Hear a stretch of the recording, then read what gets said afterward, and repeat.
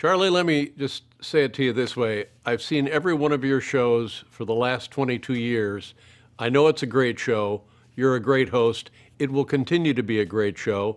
My son, who is 12 years old, Sunday morning he says, Is it time for the CBS Sunday morning show? And I say, Yes, it is. He turns it right on. So, on behalf of my son and myself, we'll see you on the radio, pal.